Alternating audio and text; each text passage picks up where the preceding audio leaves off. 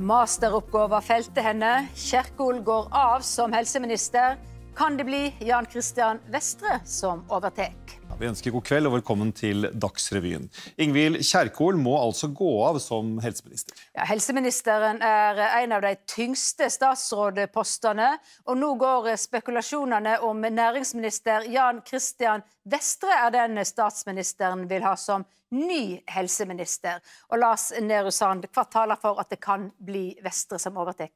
Han er nestleder i det største regjeringspartiet og har gjort den jobben bra. Og er aksla for større oppgaver både i kraft av sin, sitt verv og sin, sin gjerning som statsråd allerede. Så da får vi se hva som blir bestemt der. Ingvild Kjerkol har vært med i Støre-regjeringa fra starten. Og Det var etter at klagenemnda underkjente masteroppgaven at Støre kom med sin klare konklusjon i dag. På denne bakgrunn og med den konklusjonen så er jeg kommet til at det er svært vanskelig å få utført den løpende, krevende jobben som helse- og omsorgsminister. Jeg har derfor kommet til at Ingvild bør fratre som statsråd. Ja, det er etter hvert blitt en lang rekke statsråder som har gått ufrivillig ut av regjeringa.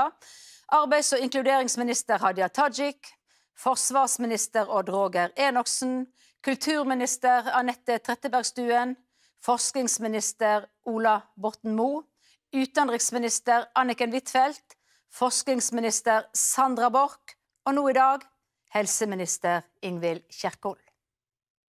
Ingvild Kjerkol kom ikke alene til sin egen avgang som helseminister, som de andre avgåtte statsrådene måtte. Her var sjefen med, og han var tydelig. Og Nemnda har altså konkludert med at det i masteroppgaven hennes foreligger et ikke ubetydelig omfang av plagiat, og at det er å anse som fusk etter loven.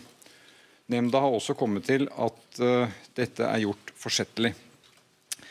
På denne bakgrunn og med den konklusjonen så er jeg kommet til at det er svært vanskelig å få utført den løpende, krevende jobben som helse- og omsorgsminister. Jeg har derfor kommet til at Ingvild bør fratre som statsråd. Men Kjerkol var offensiv. Min medstudent og jeg vi har levert en oppgave etter beste evne. Og innrømmer ikke juks. Og selv om det er vondt å ikke bli trudd, så må vi forholde oss til at nemnda er av en annen oppfatning. Så er jeg oppriktig lei meg for denne beslutningen, og for der vi er. Jeg har arbeidet med Ingvild om helse- og omsorgssaker siden 2016-2017 en svært dyktig, hardtarbeidende politiker. En av de aller beste Arbeiderpartiet har. Ingvild Kjerkol har vært helseminister på Støres lag siden starten i oktober 2021. Et lag der halvparten nå er ute. Hun blir sittende til ny helseminister er på plass. I dag presset følelsene på. Takk til alle besøk på sykehus, på sykehjem, fagfolk, leger og hele gjengen. Det er lov å skrike nå. Takk til min politiske ledelse som står der. De beste folkene. Og takk til alle de gode folkene i departementet. Full støtte fikk Kjerkol da hun nylig ble gjenvalgt som leder for det største fylkeslaget, Trøndelag Arbeiderparti. Vi syns jo det er synd at Ingvild går av, og det handler jo om at vi syns hun gjør en fantastisk jobb. Hun har gjort en god jobb som statsråd for Trøndelag for eh, sitt fagdepartement, og ikke minst for folkene. Men flere på hjemstedet Stjørdal mente avgangen var riktig. Smart. Det er lurt. For du har ikke noe gjør en feil. Det blir som oss alle andre. Gjør vi noe feil, så får vi enten beskjed om å finne på noe annet, eller så må vi gå. Det syns jeg er rett.